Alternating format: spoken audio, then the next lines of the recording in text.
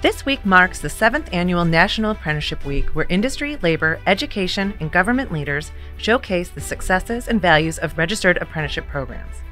Registered apprenticeships are proven industry driven training models that provide a critical talent pipeline that can help to address some of our nation's pressing workforce challenges, such as responding to critical supply chain demands, addressing public health issues, and rebuilding our country's infrastructure.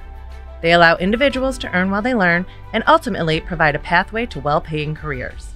Today, we will be discussing how the Ohio Labor's Apprenticeship Program mission aligns with the Governor's Office of Workforce Transformation Plans to propel Ohio forward.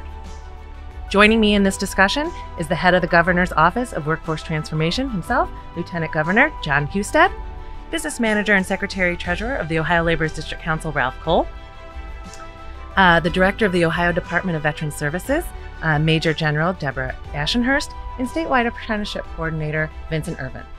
Thank you for joining us, everybody. I hope we have a lively discussion about our apprenticeship programs and how they can align together uh, to get Ohioans back to work. Lieutenant Governor, I want to start with you today. Uh, you were named in 2019 the head of the Governor's Office of Workforce Transformation. Tell me a little bit about that office, some of your goals, and what initiatives you're working on. Sure. And I love the earn and learn part of apprenticeships. It's just a wonderful thing. Um, I will say, as the uh, director of the Office of Workforce Transformation, Governor DeWine and I, our expectation for that initiative is that we help all Ohioans understand the great pathways to wonderful careers without the high cost of a college education. Uh, there are many new pathways to do this. The, the economy is changing workforce pathways are changing, and we want to make sure that every Ohioan can live up to their God given potential by having access to career skills uh, and great and great jobs. And apprenticeships are one of the pathways that we are promoting because it's such a great pathway for so many people because you earn and you learn at the same time and that leads to a great career that can support you and your family and allow you to live your version of the American dream. Absolutely. And Ralph, how does the Ohio Laborers' goals and apprenticeship uh, program align with the Lieutenant Governor was talking about, do you think? Well, it aligns. Uh, first of all, it's an opportunity. We take about 30, 40 years of part time work and create a career out of that with the best um, health care and pension money combined, defined benefit plan. And, uh, and I might add that those two plans, the our uh, pension has about $2.4 billion, and our health care uh, has probably $207 million in reserves. It is uh, administered and paid for exclusively by the membership. We take no money from any federal or state, no outside monies whatsoever. So I say that to say that they're entering into that kind of world uh, in a career.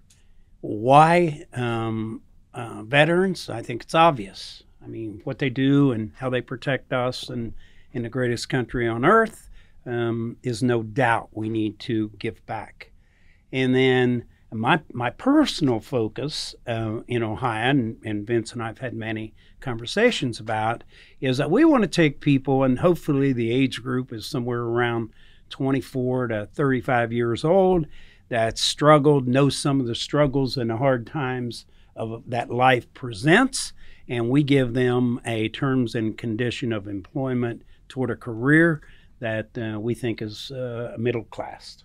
Which is a lot of what uh, your office does, Lieutenant Governor. You train these folks that perhaps might come out of the military and have different skills, and then you train them in different ways to get them to come to a different career. Yeah, we helped connect people. You know, you, you what you want to do is you get the the uh, folks who are working with veterans to connect with the employers or the unions who are creating career opportunities for them. That's what you you want to do.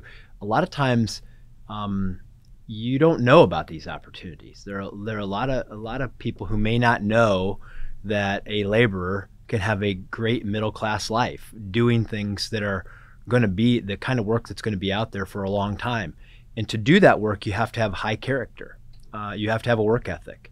And we know that veterans have that. We, there are a lot of people out there that have that, but maybe don't know the pathway to get there and don't know that this is a, a, a great, as you said, Ralph, great middle class lifestyle is available to them.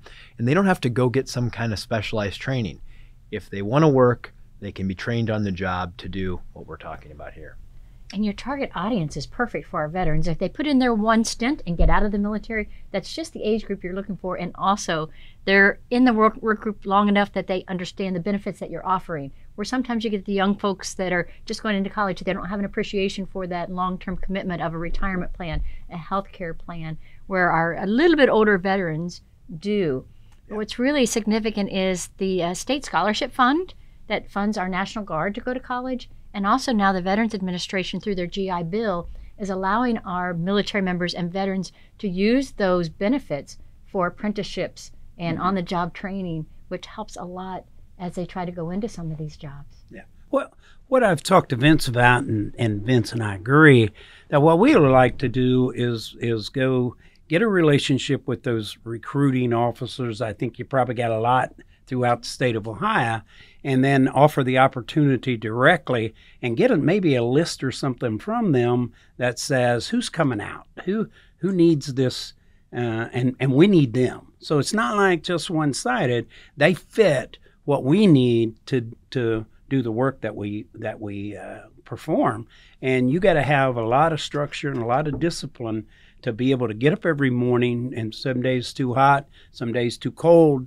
too wet. It's always too something, and and yet you got to go out there and strap them up and and work and and you you know it's a dangerous society that we work in out there. You know, got uh, uh, concrete trucks with tires this big. We lost I think 18 or 19 people that I'm working with your office with uh, in work zone safety. You know, uh, we want people. It's alert. We want people uh, you get used to backup whistles blowing and engines running. You get used to that environment out there, and the more in, uh, used to it you get, the more dangerous it is. So it's not like going to Sunday school. I can guarantee you that.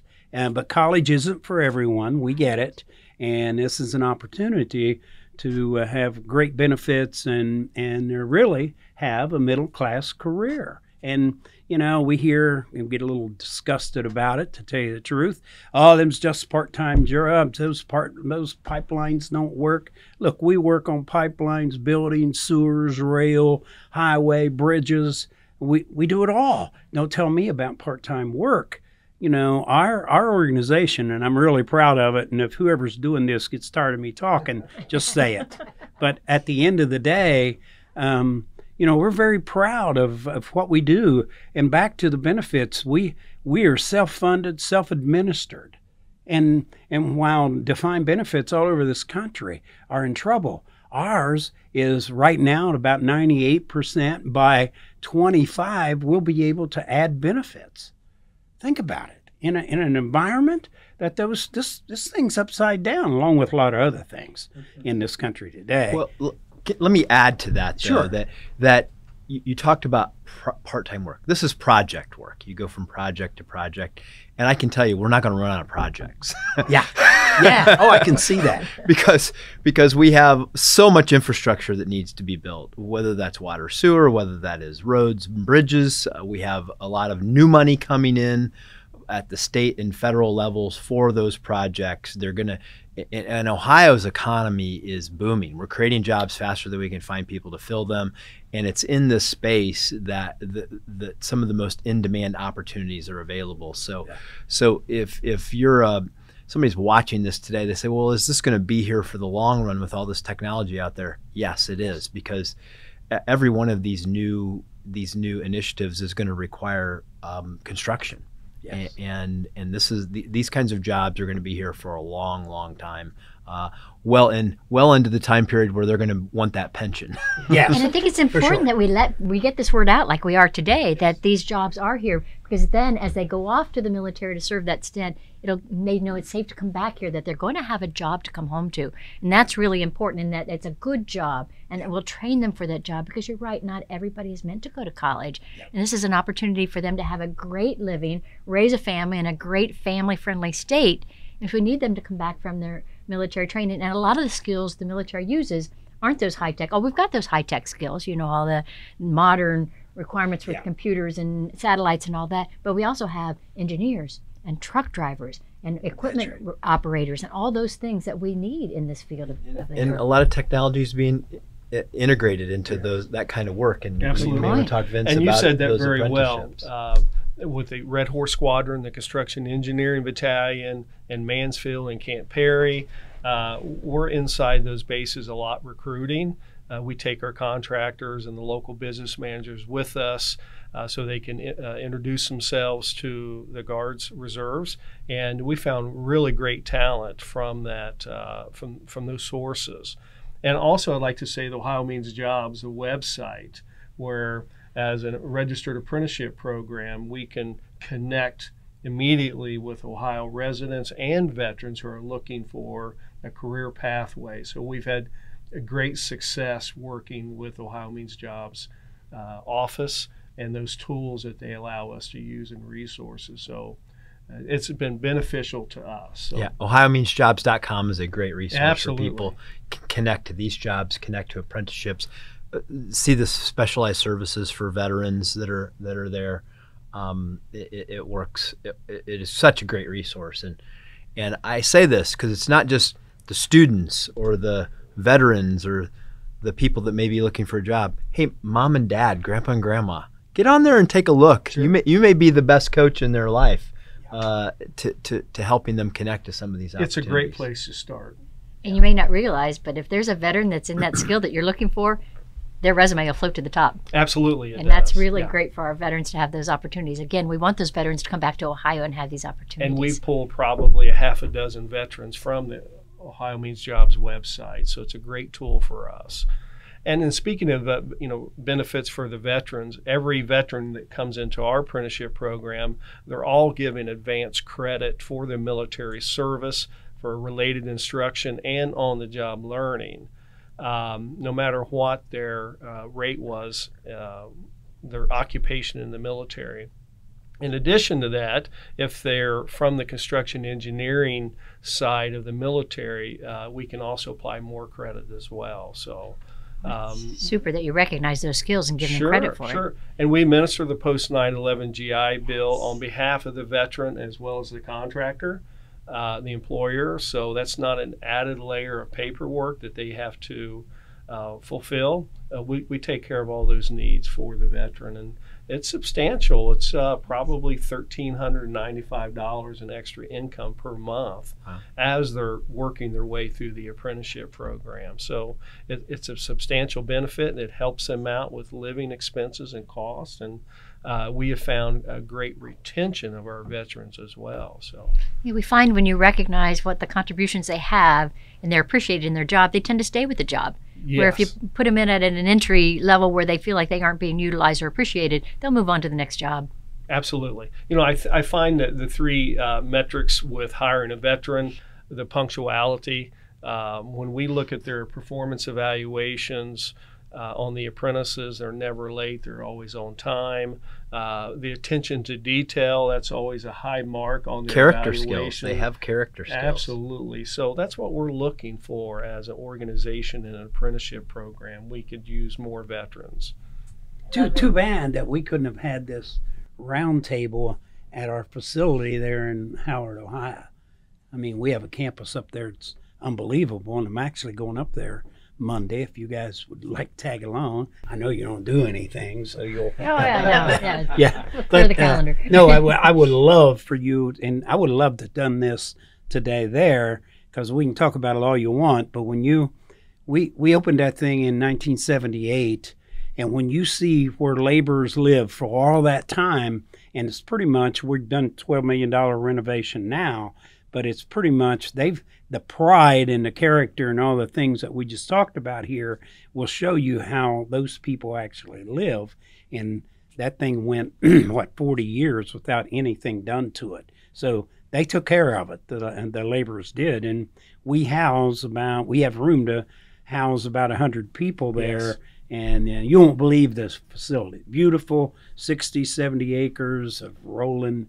It's a it's a beautiful environment but what really matters is inside it I might not make it Monday, but I might take you up on going up there another time. all you got to do We is invited the National Guard. Uh, they're coming to the training center on Tuesday of next week. So we're having another roundtable discussion there. Because you're very familiar with the Air Guard with their engineering program. But you have a whole Army Engineer Brigade in Ohio as well that has a lot of those same type of training training environments that you're offering here. It's a perfect match. Yeah, yeah, absolutely. And speaking, going back to the training center itself, for a veteran or a non-veteran construction apprentice, where we provide room and board at the training center, all their meals are provided, the education, the classroom experience, and the lab, the hands-on training is completely provided uh, for that labor apprentice at no additional cost.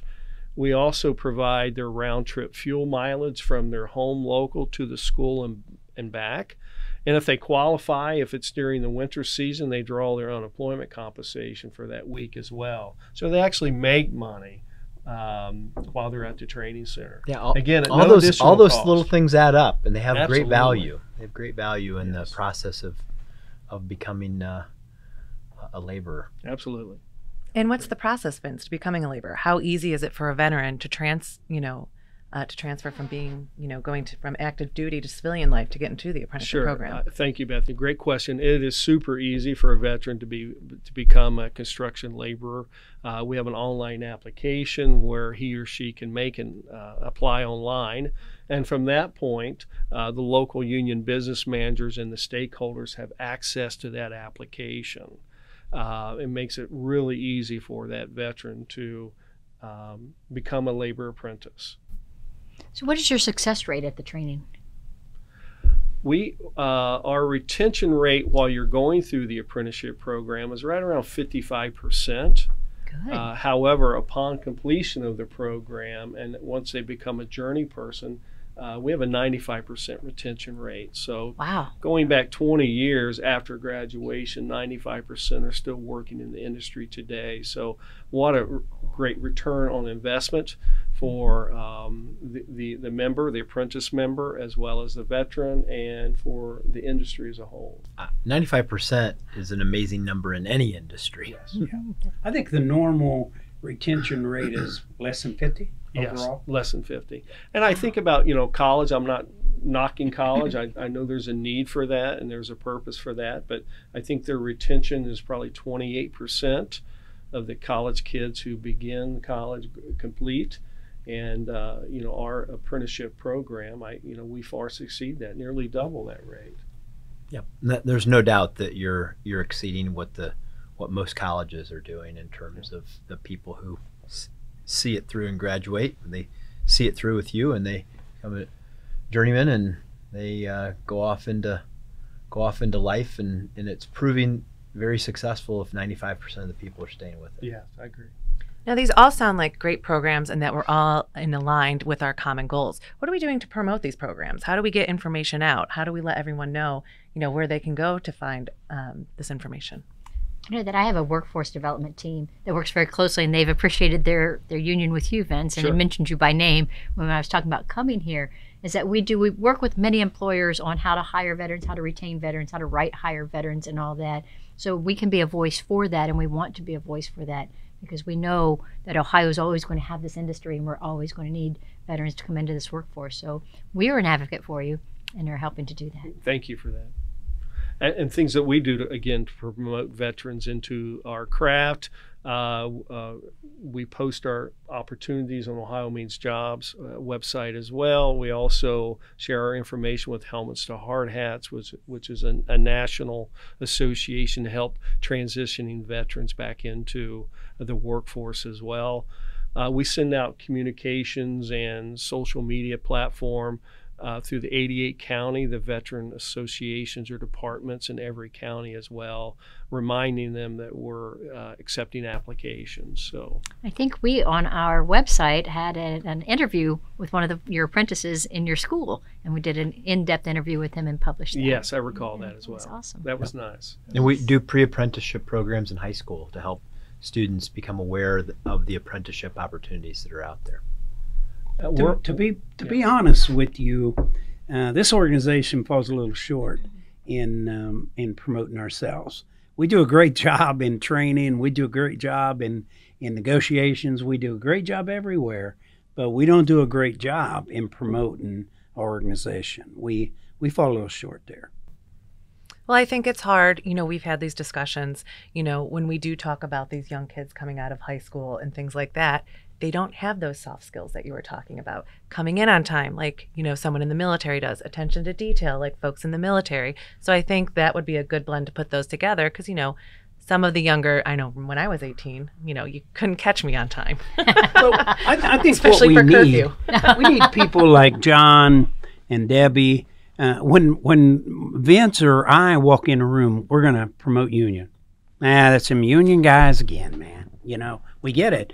But when I, I had a judge and uh, we supported him, and after the meeting, he comes over and he goes, I, I'm wondering, I know how you can help me. How can I help you? And I said, You can help me because you, you know, uh, live in a different type community than our people do. So talk good about us. Talk good about what our people do. He goes, That's, you know, that's a good idea. So when they hear Jon or Debbie talk about the laborers union, it's a different effect than you when you hear Ralph, because it's what I do. But and but if we have people outside, and we need to make those uh, connections better than we do, just Look, to be honest. There there is great virtue in work. Let's just say that flat out. Yeah. That that it's um, helping people find that pathway and it's a different pathway for everybody. We're all different people. We all enjoy different things. For sometime you you talked about uh, sometimes it's hot sometimes it's cold sometimes but you know what? Most of the time it's outside. Yeah. and some people just don't want to be caught inside their whole lives no, you're uh, right. and some people like to work outside. So if yeah. that's something that that appeals to you this is a great way to do it. Yep and, so there's so many different you know not everything's for everyone. We all have different and what we're about is trying to help people be aware of the opportunities so that they can find what fits them best. And, and in many cases if you were in military construction or something like that and you're you're leaving well this is this is a great a great way for you to and if you enjoyed that this is a great way for you to to continue to find opportunities to do that. But for the younger folks I think this is all something that we owe them. Uh, is continuing to help them have character education. One of our challenges, and this is not like the old guy complaining, right? This is this is the challenges of the fact that too few young people are exposed to work opportunities. Too few of them are maybe playing sports or are in the military. And so they don't get exposed to having to show up on time, being part of a team, understanding what that you have to follow these rules for your safety and other things. And we we have to continue as a culture to value that, to promote it. It's a virtue, and and that we have to be willing to discuss that as being important to to your life and to the culture of work in America, and and to let people know that those character skills are valued in the workplace and you can make a great living uh, if you have those character if you have that character if you have those values and everything else those are details. We can teach you how to do the rest. Absolutely. I think that what we need to do is get more into the parent thing. Those parents are the most important coaches. I don't care if you're in the nfl i don't care where you are. Life coaches of the parents is the most important coach you're ever going to have in your life and they care more about you. They care more about what you do. Just that that unconditional love that they have for you. And when we go and we're able to say to John that, you know, John, you'll know whether or not your son uh, is a college person or not, and this is what we got for him. You know, he will open his eyes to things that are, uh, and I hate to say it, and, I am an old phobie, that uh, it's just not taught enough today. And we certainly as an organization don't do well enough with it, to be honest. If we can convince parents that their freshman in high school needs to take a look at the laborers union, and and we also not just veterans, we need people like uh, single moms and and people that you wouldn't associate overall with the construction worker, and they make really good construction workers. So we need we don't do a good job at us. And, and, these are good jobs. These are great, good jobs great, that pay well career. with benefits, health care, pension, things like that, that will carry you through life. And I think there's a misconception that that's not the case. No, and, and through working with the laborers union, you can absolutely have that life for yourself. And I also think there's a misconception. Yes, it is hard work. It is very hard work. Labor is in the name, but there's a lot of innovations that have coming up. You know, we're doing rad tech now. There's a lot of different things that it's not just, you know, carrying a hod with bricks on it over to the next, you know, job site. So I think you know, there's a lot of different things that are coming up that can be attractive to, uh, you know, the younger audience. We're, we're actually doing at the A plant there in Portsmouth or Piketon that uh, we're doing uh, industrial hygienists. We've set up school there at the local, taught by a brilliant Mike up at the up at the training school, and then we're also doing rad techs. We we have them working today, and it's part of our uh, collective bargaining agreement, guaranteed 40 paid holidays. I mean, opportunities are crazy. And we need to take a guy like me and make me understand how to have incorporate people like you to speak highly of us. That's well, what we need. I, I'm going to put something in for a little physical labor. Um, it's a good thing. It makes you healthy throughout life. you, sleep well at night. You sleep well at night. Yeah. You're physically strong yeah. when you get older. You yeah. you know you you're in shape. You feel better. So let's not let's not discount the value of a little physical effort during our daily lives. In 1963, I heard Branch Rickey talk, and he said, "I'll never forget it." I was I was young. I was young one day. Really? Yeah. hard to believe. He said there's no such thing as a tired bad boy. All you got to do is think about it, right? It's exactly what Amen to that. Branch Rickey took his cigar out of his mouth. I heard him say it, and it's always stuck with me. Yeah, no, no tired I, I think that theory is, is, you know, perpetuated through the military as well. Yes, we'll keep them tired. Yeah, no, that's right and and it's true. I mean, his he went on to say they're not out there stealing gas and they're not. No, well, but, but I want to just say this: have anybody who's ever done a good hard day's physical work, when when you lay down at night, you feel like you accomplished something. Good, there is a reward. Yes. There is a reward in in work that I know that a lot of times people think, well, I want I want to grow up and have one of those jobs where I sit in a chair all day and I don't have to do anything. Believe me, from somebody that sits in a chair too much, I can tell you that uh, th- that doing some things where you get a little physical exercise uh, is a, a, a, much preferable way to spend your day than just sitting around in a chair you every day. It's, you, it's a change of scenery. Yeah. It's, it's something new every day. Energy. I do this all week and then on the weekend, and sometimes I just feel like I can't really do it anymore. And then I go home and you know I'm building fence or or uh, just whatever, and it feels so good to lay down and be physically tired. Well, I can tell you this: uh, uh, one of my one of my jobs that I had throughout life was patching holes in roads, uh, and and and uh, filling potholes and doing those kinds of things. And I can tell you, I remember like when I go back and I drive on those roads, yeah, I paved that road, you know, when I was younger and I did all these things. It makes you feel good about the things yeah, that you've done at the end of the day. You know, 20 years ago, uh, building a, a, bridge or helping uh, build a school, and that structure's still in place today. Yeah. You're able to share that with your grandkids and your family and friends. You know, I remember when I worked on that project. That's very satisfying. Yeah, it's very satisfying you know, one of the things I saw on your on the Workforce Transformations website uh, was the in-demand jobs and also the critical in-demand jobs. Can you elaborate a little bit on that for us? Well, yeah, we, we have a list of in-demand jobs, and we put them there so that people people know that hey, th- this is something that we know that exists now in abundance and are going to be there into the future and that the workforce projections are, are out there. And um, you know, I, I, I will bring it back to because there's lots of things like that. And and being a laborer, you know, being a cybersecurity specialist, there are all of these kinds of jobs out there that we know are going to be there for the future, and and and everybody's a little different. They have a different skill. We've all been blessed with different kinds of skills, and we want them to know where those opportunities are. But I, will bring it back to laborers in the in the sense that we we have an, an entire infrastructure in this country that needs fixed. And we're, we're, recognizing at the state and federal level that we have to put some money into doing that. And that's bridges and that's roads and it's it's our technology infrastructure, it's our electric grid. There are all kinds of things that are out there that that are going to be rebuilt. And so these kinds of skills apprenticeship skills are going to be valued long into the future. Absolutely. Yeah. I wanted to ask Major General a question when Ralph brought it up about the transitioning uh, veteran.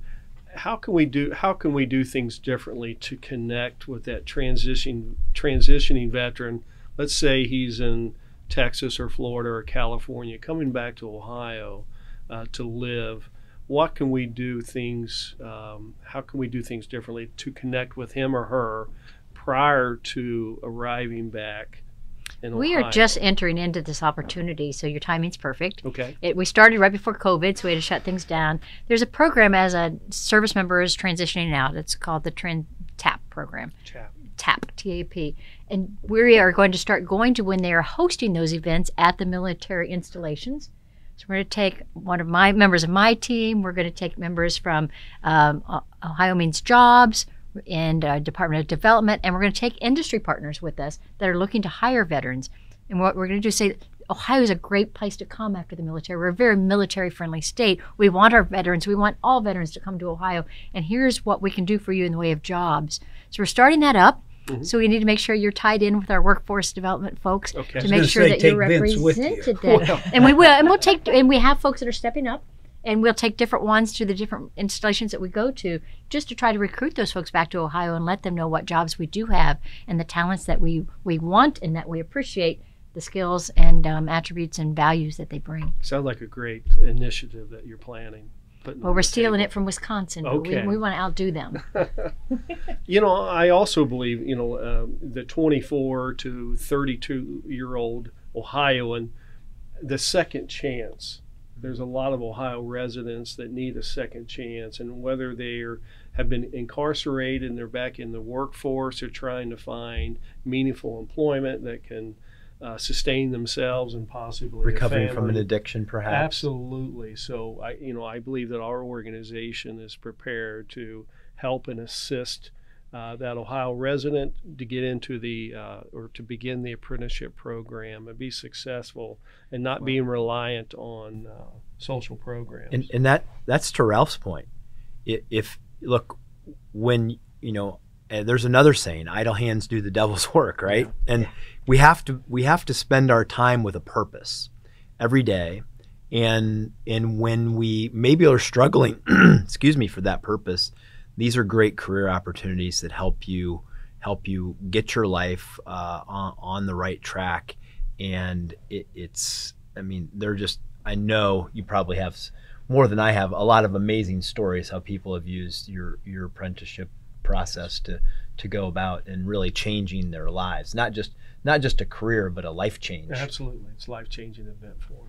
I'm, I'm going to tell you, one of the best medicines that I know is money in people's pocket. And when you combine, the best social program is a good job is a great social program. Tell program. me about it. And so when you add the feeling that Jon talks about after a hard day's work, or Branch Rickey talks about, and the fact that you're putting some money in their pocket, listen, you're making a difference in people's lives. I mean, that's a fact. So I, I, I know I've been broke, and, and maybe everyone at this table has. And money in your pocket makes you feel better about you and and being able to buy a nice shirt or a pair of shoes guys we're all the same. And and feelings you know what?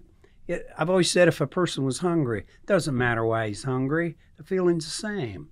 And so let's help them let's help them and let's not think that everyone out of work is stupid or undeserving.